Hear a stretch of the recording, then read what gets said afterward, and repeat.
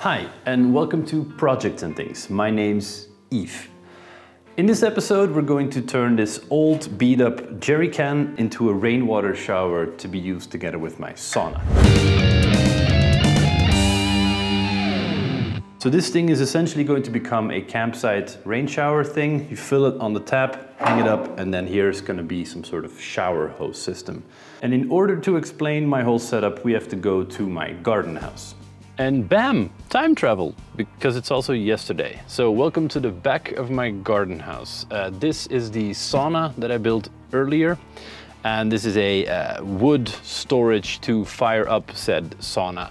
And so this is the main disaster area. It's become a catch-all for a bunch of wood stuffs, as you can see. Uh, but the cool thing is I still have about 30 of these old garden planks. They're about 30 years old and they're cool looking.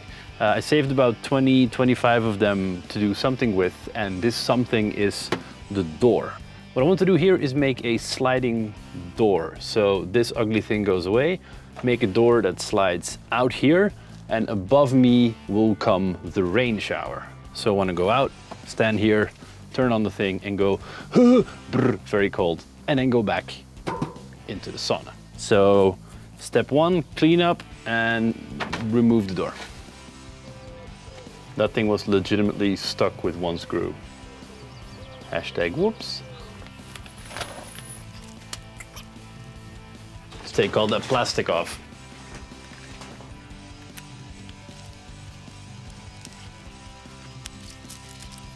And I wonder how many tiny friends have taken residence since I put this up a year ago. And there are some of our tiny friends now.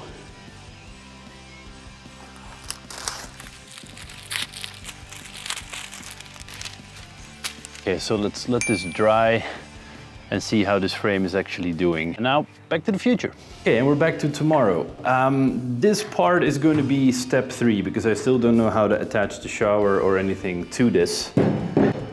But it's time to weld some steel. For that, I went out and bought a whole bunch of metal tubing that I'm going to try and weld together. Steel tube is going to become the frame that holds up the jerry can shower thing. But my neighbor was so kind to donate his old stick welder to me and I figured it's time to pick up where I left off. And I haven't stick welded since I was 14 and looked like this. And so over the weekend I did some practice welds. They look absolutely horrendous, but um, it's metal stuck together. So now I'm going to try and bend this tube and weld it together. We'll see how that goes. And in order to get some straight angles and 45 degree angles, I'm gonna use a speed square. I'm going to notch two 45 degree angles out of this tube, bend it 90 degrees, and then try and weld it together. Emphasis on try.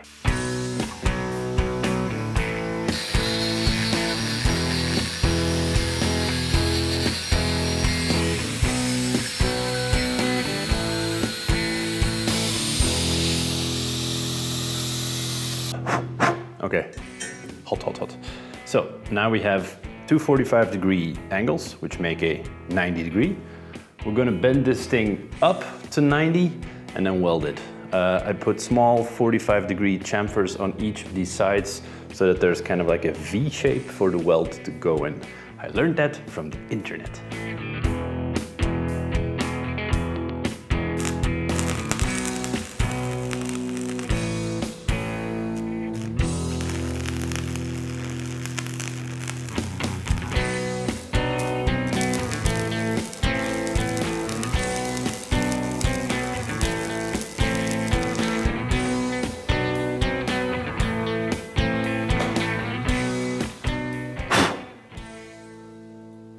That one looked exponentially better than the previous one.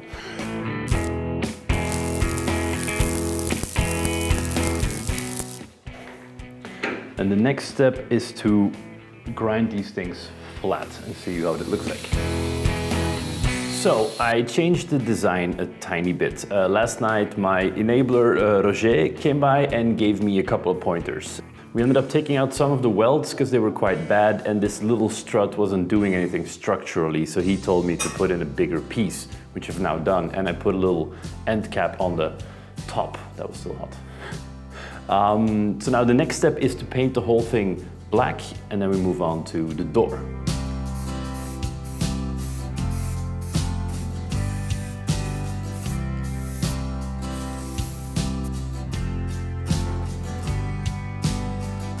Plan is to make this door look a little bit like the barnwood door that's in my house. It has a bit of a pattern in there that looks just nicer from the outside. So let's see how far we can get with this. I removed the staples on the parts that uh, were gonna get cut off. The rest can stay in there because they kind of add to the patina of the whole thing. I don't mind that.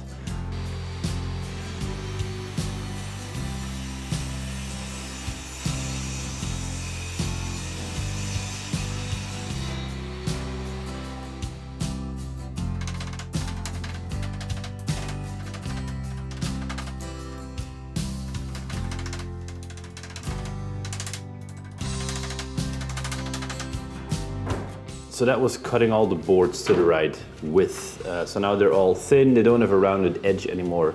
And now I want to find out a layout so it all fits on the old frame.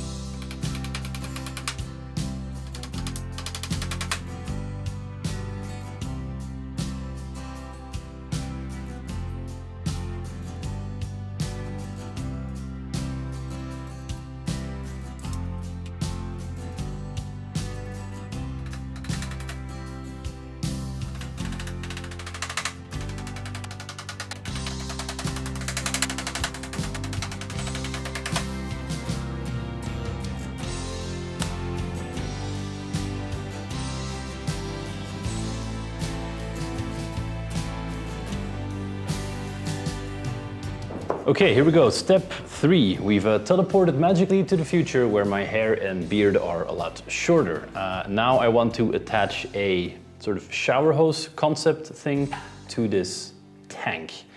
I have found a few things that were lying around that are left over from plumbing in my house.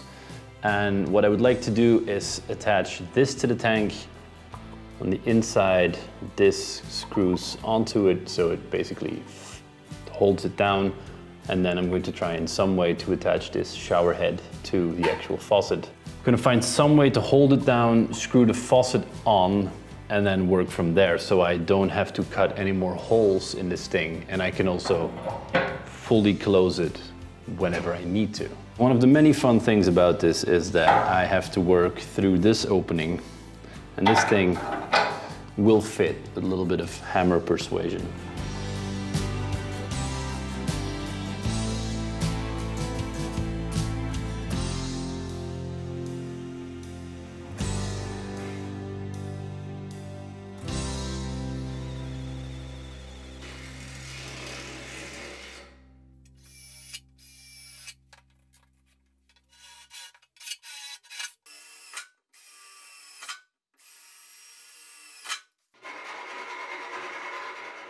Okay, so this is now connected to kind of roughly where I want it to go. And now we have to screw the thing in from the inside.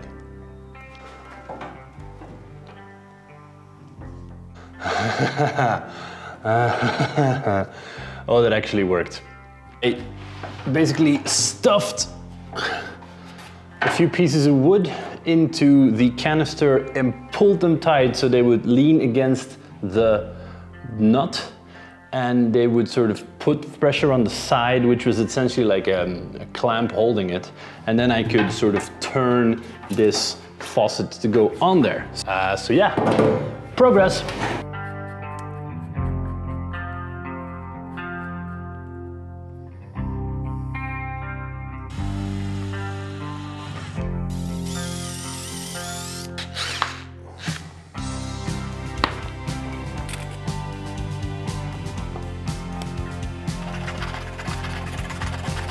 Now the moment supreme, where I'm hoping that this thing fits. shower hose open, shower hose closed. So now I think the next step is to epoxy all of this as shut as possible. So I also added some epoxy to the inside and now we can put on, put back the cover. Okay, and now let's see if this thing is watertight. Yes, yes, yes, yes, yes, yes. Yes! it totally works! and trick two. Woo! En ik heb Bam.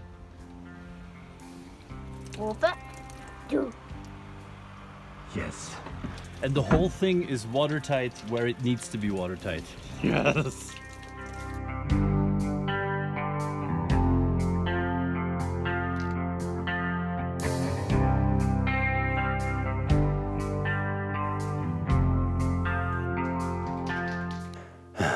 And then we go from total excitement to the cold hard reality of engineering problems. Turns out I made the door too long and I have to cut a piece off the bottom of it.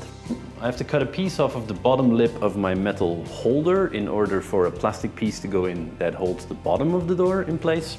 Piece of wood and cut a few slots out of it. So a few technical difficulties, but then we can actually put the thing in place. But my jerry can works. It totally works. Okay, so get to work.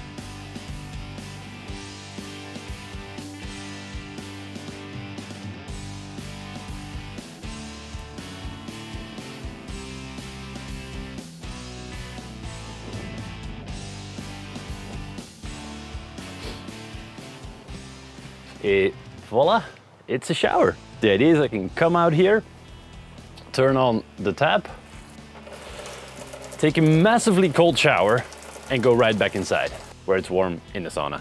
So here's a last minute adjustment to the shower. And I ended up spray painting a word on there, even though in Dutch it just means shower. I love the connotation in English. So thank you guys very much for watching. If you like these things I do, then please consider subscribing to the channel. There should be a button to do so below. And also somewhere off to the side here, there will be other videos all about making stuff. So thank you guys, till next time, bye.